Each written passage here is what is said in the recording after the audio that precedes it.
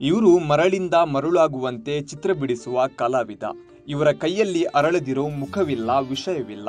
ಉಫ್ ಎಂದು ಓದಿದರೆ ಸಾಕು, ಚದುರಿ ಹೋಗುವ ಮರಳಲ್ಲಿ ಮನಸ್ಸಿಗೆ ಮುದ ನೀಡೋ ಚಿತ್ರ ಬಿಡಿಸೋ ಮಾಯಗಾರ ಇವರು. ಸರಿ, ಇವರ್ಯಾರು ಅನ್ನೋ ಪ್ರಶ್ನೆಗೆ ಇಲ್ಲಿದೆ ಉತ್ತರ. ನಮ್ಮ ಉತ್ತರ ಕನ್ನಡ ಜಿಲ್ಲೆಯ ಶಿರಸಿ ತಾಲೂಕಿನ ಕಡ್ಡಮನೆಯ ರಾಘವೇಂದ್ರ ಹೆಗಡೆಯೇ ಈ ಅದ್ಭುತ ಕಲೆಗಳ ಚಿತ್ರಗಾರ. ಮುಖ್ಯವಾಗಿ ಇವರು ಕರ್ನಾಟಕದ ಏಕಮಾತ್ರ ಮರಳು ಚಿತ್ರ ರಚನಕಾರರಾಗಿದ್ದು ಇವರ ಕಲೆಯ ಝಲಕ್ ನಿಮ್ಮ ಮುಂದಿದೆ.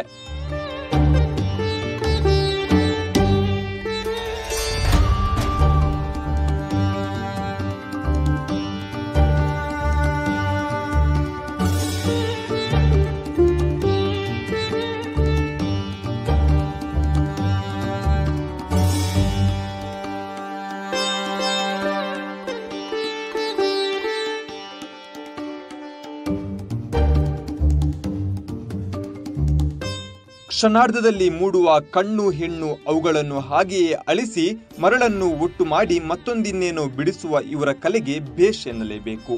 ಈವರೆಗೂ ವಿಶ್ವದಾದ್ಯಂತ ಐನೂರ ಐವತ್ತಕ್ಕೂ ಹೆಚ್ಚಿನ ಮರಳು ಚಿತ್ರಗಳನ್ನು ಇವರು ಪ್ರದರ್ಶಿಸಿದ್ದಾರೆ. ಅಲ್ಲದೆ ಸಿದ್ಧಾರ್ಥ್ ನಡೆಸಿದ ತ್ರಿಭಾಷಾ ಚಿತ್ರವಾದ ದಿ ಹೌಸ್ ನೆಕ್ಸ್ಟ್ ಡೋರ್ ಸೇರಿದಂತೆ ಹಲವು ಚಲನಚಿತ್ರಗಳಲ್ಲಿ ತಮ್ಮ ಮರಳು ಚಿತ್ರಕಲೆ ನೀಡಿದ್ದಾರೆ. ಕರ್ನಾಟಕ ಸರ್ಕಾರದ ಹತ್ತಕ್ಕೂ ಹೆಚ್ಚು ಜಾಹೀರಾತುಗಳಿಗೆ ಮರಳು ಚಿತ್ರದ ರಚನೆ ಮೂಲಕ ನಿರ್ದೇಶನ ಮಾಡಿದ್ದಾರೆ.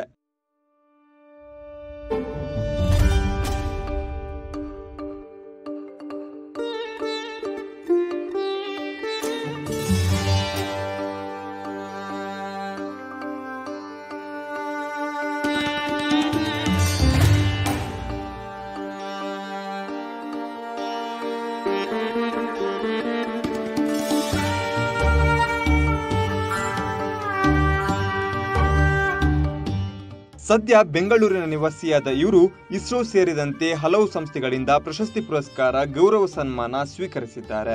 ಶಿವ, ಭಾರತ, ಪ್ರಪಂಚ, ಗುಡಿ, ಮಸೀದಿ ಹೀಗೆ ಯಾವುದೇ ಗಡಿ ಇಲ್ಲದ ಕಲೆ ಇವರದ್ದು. ಗ್ಲಾಸಿನ ಮೇಲೆ ಮರಳು ಹರವಿ ಹಿಂದುಗಡೆಯಿಂದ ಲೈಟ್ ಕೊಟ್ಟರೆ ಮುಗಿಯಿತು ಚಕಾಚಕ್ ಅಂತ ಅಲ್ಲಿ ಏನಾದರೊಂದು ಸ್ಪೆಷಲ್ ಆಕೃತಿ ಮೂಡಿದೆ ಅಂತಲೇ ಅಂದುಕೊಳ್ಳಬೇಕು.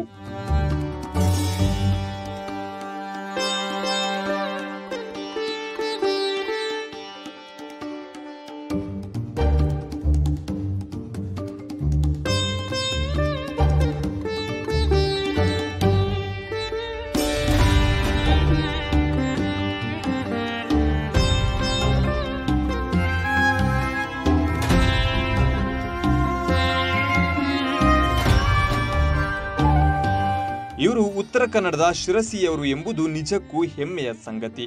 ಈಗಲೂ ತಮ್ಮ ಸ್ಯಾಂಡ್ ಆರ್ಟ್ನಿಂದಲೇ ಗುರುತಿಸಿಕೊಳ್ಳುವ ಇವರ ಬದುಕು ಮತ್ತಷ್ಟು ಕಲರ್ಫುಲ್ ಆಗಲಿ ಹಾಗೂ ಇನ್ನೂ ಹೆಚ್ಚಿನ ಕಲಾ ಸೇವೆ ಅವರಿಂದ ಆಗಲಿ ಎಂದು ಹೇಳುತ್ತಾ ನಮ್ಮ ಕಡೆಯಿಂದ ಅವರ ಸ್ಯಾಂಡ್ ಆರ್ಟ್ಗೆ ಸೆಲ್ಯೂಟ್.